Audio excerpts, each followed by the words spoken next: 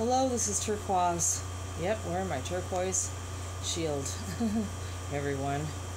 Um, good morning. Happy Monday. Happy September.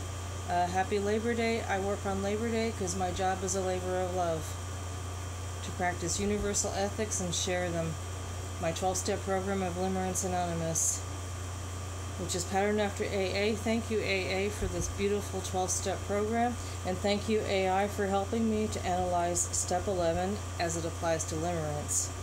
Sought through prayer and meditation to improve our conscious contact with God as we understood Him, praying only for knowledge of His will for us and the power to carry that out. Comments are open, but they are held for moderation. Like any influencer, I reserve the right to delete or publish your comments. Yeah, we had some doozies last night, and um, they will not succeed in silencing me. I'll let you know that right now. If I see any comment that questions what I am doing in a ver- in a derogatory manner in the name of giving me advice or counsel, I will remove it. I will accept respectful comments only. If you still respect what I am doing and you don't attack me or character assassinate me, your comment will gladly be published. Just a little side note, you guys, a little housekeeping.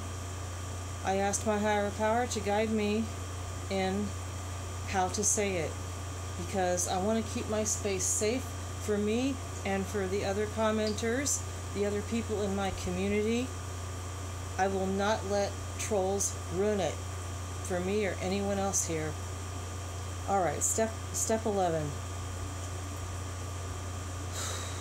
We need our higher power to guide us in working this program and in knowing his will for us and the power to carry out his work in Limerence Anonymous and in life. Thank you, AI for giving me something to read to you, to the uh, community here. It is my idea. AI has helped me. Understanding Step 11 in context of limerence. Step 11 of the 12 steps, which say, states, sought through prayer and meditation to improve our conscious contact with God as we understood Him, praying only for knowledge of His will for us and the power to carry that out, emphasizes the importance of spiritual growth and connection. This step is particularly significant for individuals dealing with limerence, a state characterized by intense romantic attraction and obsession with reciprocation or approval of the person we are limerent on. And it may or may not have infatuation or sexual, but not necessarily. This can often lead to obsessive thoughts and behaviors. The role of prayer and meditation. Prayer as a tool for clarity. In the context of limerence, prayer can serve as a means to gain clarity about one's feelings and desires. Individuals experiencing limerence may find themselves overwhelmed by their emotions, leading to confusion about what they genuinely want from their relationships. Oh, yeah. Talk about the lower power at work, trying to mess us up. Through prayer, they can seek guidance on how to navigate these feelings responsibly. The key is responsibly. When you buy a lottery ticket, do you ever hear the, the sentence, please play responsibly? We have to fall in love responsibly too. We have to pick our relationships, our friendships, our romantic relationships responsibly. They can all too quickly become a drug to us, and then we lose that responsibility. Through prayer, we can seek guidance on how to navigate these feelings responsibly. Very important, ladies and gentlemen. Two, meditation for mindfulness. Yeah, mindfulness is the biggie in our society, I know, but it, it can help. Meditation allows individuals to cultivate mindness, helping them become more aware of their thoughts and feelings without judgment. You can do this with or without the guidance of a therapist or expert. There are free apps that can help you with mindful meditation. I would recommend Medito if you're a non believer, um, and Reflect if you're a believer, if you're a Christian. This practice can be particularly beneficial for those in limerent states as it encourages them to observe their emotions rather than react impulsively. By fostering a sense of calmness and presence, meditation can help mitigate the anxiety often associated with limerence. Improving conscious contact with God. And again, God can be anything you feel comfortable believing in. You don't have to be a Christian or a non believer or anything else. Even an atheist can believe in a power greater than it can be the sun, it can be the ocean, anything you want. It can be your your uh, desire to recover from limerence. Let's start out that way. Personal understanding of God. The phrase "as we understood Him" highlights the subjective nature of spirituality. It's an individual process. Even my relationship with Jesus Christ is unique, and so should everybody else's. For individuals grappling with limerence or any other Christian limerence, developing a personal understanding of a higher power can provide comfort and direction. I'm going to read that sentence again because I'm getting a little excited. I want to focus. For individuals grappling with limerence, and we grapple with it, developing a personal understanding, a personal understanding, no matter what we believe in, of a higher power can provide comfort and direction. This personalized approach allows them to align their actions with their values and beliefs. That's why we, we must stay focused.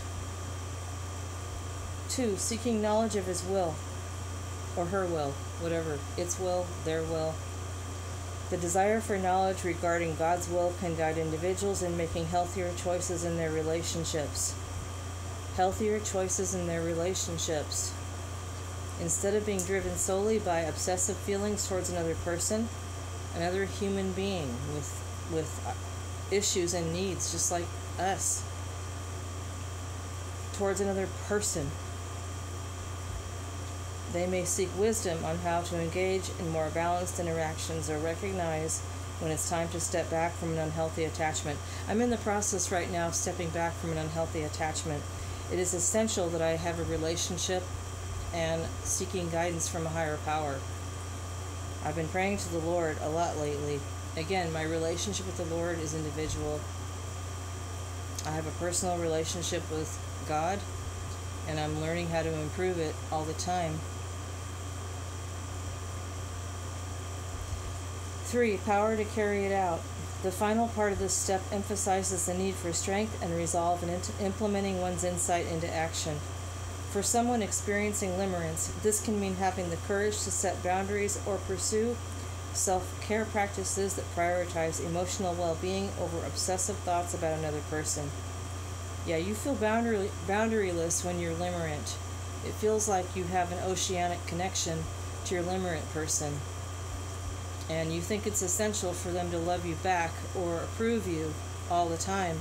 Otherwise, you feel like you're going to just fall away.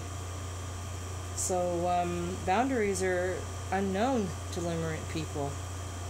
You know, people who are limerent. Boundaries are, what's that? What's boundaries? I, I love them. I, I can't uh, I can't set boundaries. I don't know if I can set boundaries with my limerent person. My boundaries right now are to stay as far away from her as possible because every time I'm around her, I go like that.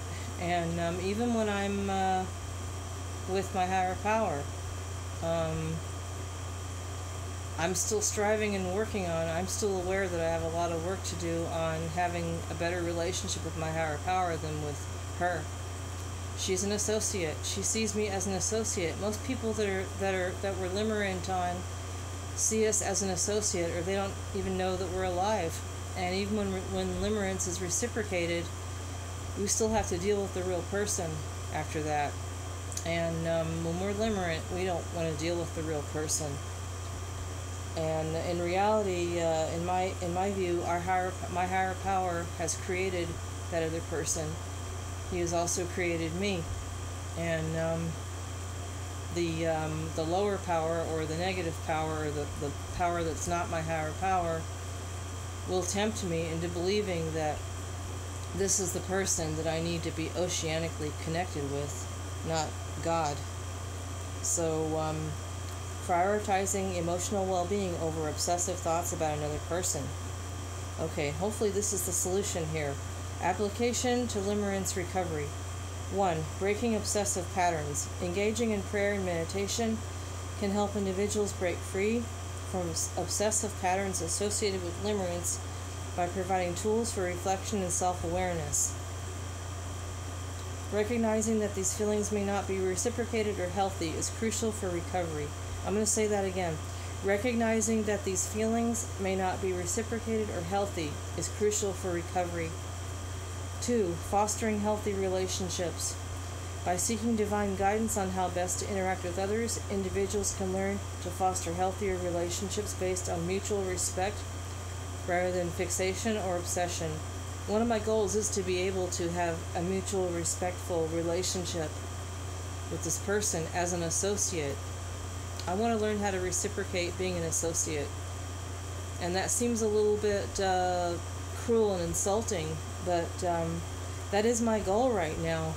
I don't want to keep being fixed on her.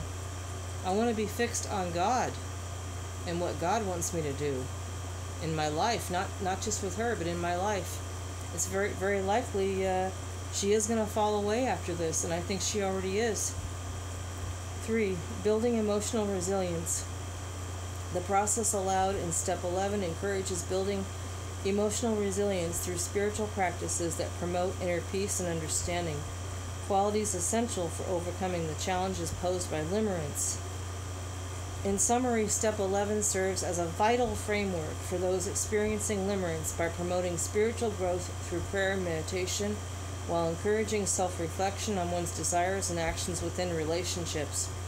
Probability the answer is correct 95%.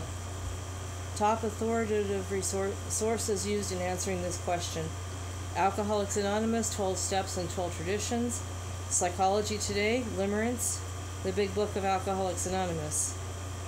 Again, thank you, Alcoholics Anonymous, for this beautiful program that is saving many lives. And it will save mine once again. Okay. Woo, gonna go. Bye.